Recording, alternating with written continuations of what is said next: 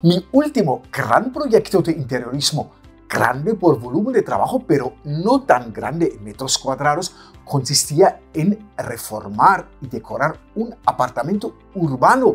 Un apartamento urbano no tiene nada que ver con una casa de la playa, por ejemplo. Y hoy os quiero explicar cómo he logrado que este proyecto sea un éxito rotundo a nivel de los espacios interiores, de la decoración y sobre todo de cómo utilizar pocos metros cuadrados.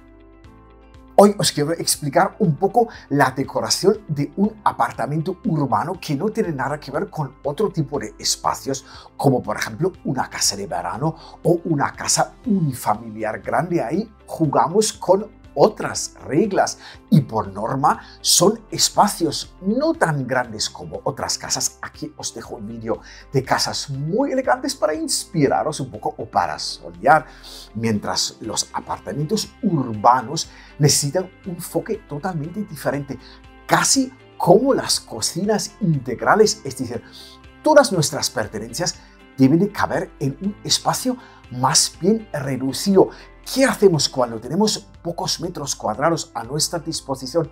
Muy fácil, todo en uno. Hay que intentar que todo lo que tiene que caber ahí dentro está o en el mismo espacio o por lo menos cocina, salón, comedor, todo en el mismo lugar y baño y dormitorio aparte. Y hoy os quiero presentar dos propuestas diferentes, muy diferentes entre sí. Un apartamento urbano inspiración diseño industrial loft.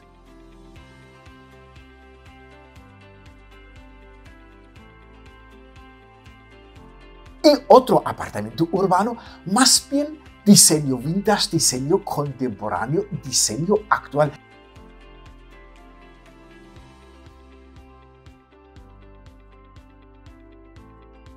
Y hablando de los apartamentos urbanos inspiración diseño loft, aquí os dejo un vídeo que seguro que os va a dar buenos trucos para agregar un toque de diseño industrial a vuestra casa que está de nuevo de pura actualidad. Por favor, suscribiros al canal, tocar la campanilla, así siempre estáis un poco al día de todas las últimas novedades en el mundo de los interiores de lujo. Pero os invito a entrar ya conmigo en los apartamentos urbanos con un toque algo más serio. ¿Qué utilizamos para conseguir un espacio elegante, acogedor, pero más bien enfocado a un diseño masculino? Exactamente, colores marrón, tapicería monocromático, ladrillo en las paredes o papel pintado con un aspecto más bien serio, mucha madera, mucho hierro colado, la cocina en el mismo espacio que salón, comedor, todo en uno. Hacemos un repaso por un par de espacios a ver qué os parece.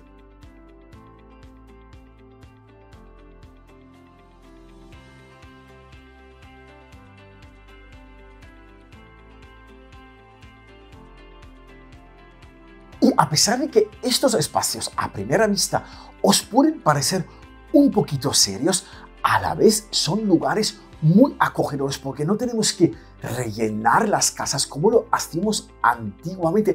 Aquí os dejo un vídeo con el cual a lo mejor os transporto un poco al pasado cuando las casas de lujo eran espacios repletos de obras de arte y elementos decorativos, pero desde entonces las cosas han cambiado muchísimo y hoy en día decoramos nuestras casas más bien enfocados a nuestro bienestar, que están a nuestro servicio real.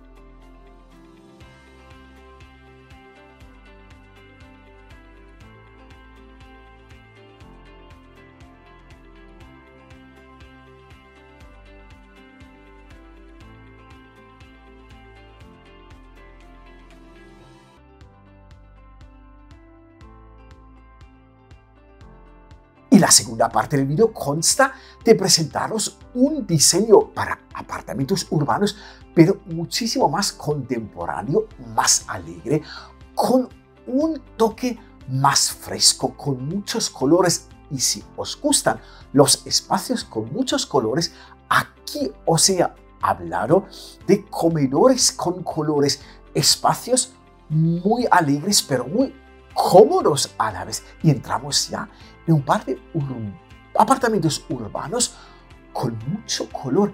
Entramos en los salones. En los siguientes vídeos os explico cocina y dormitorio.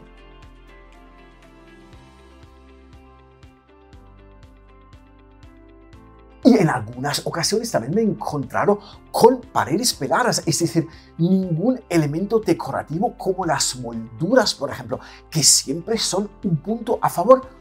Para un diseño más bien clásico, aquí os dejo un vídeo sobre la utilidad de las molduras y al otro lado también agregamos un diseño mucho más cómodo y cuando nos enfocamos en espacios, apartamentos urbanos con colores las molduras hacen un juego perfecto y aquí os lo presento.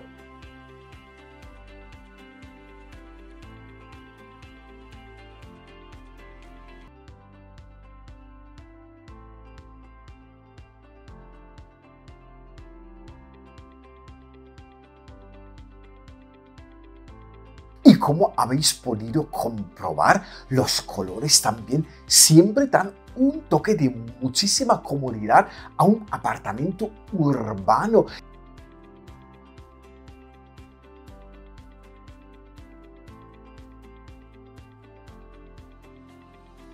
Igualmente en las casas de playa, ahí normalmente utilizamos menos color, nos inspiramos más en el entorno en el cual está ubicada la casa, es decir, mucho gris perla, azul celeste, blanco, todo lo que es el entorno de la playa y los apartamentos urbanos. Lo mismo, podemos agregar muchísimo gris, marrón, color terracota, por ejemplo, pero esto ya es a gusto del consumidor. Gracias por estar ahí de nuevo conmigo, viajando por el mundo del interiorismo de lujo y tenemos que seguir agregando un poco de color a este mundo.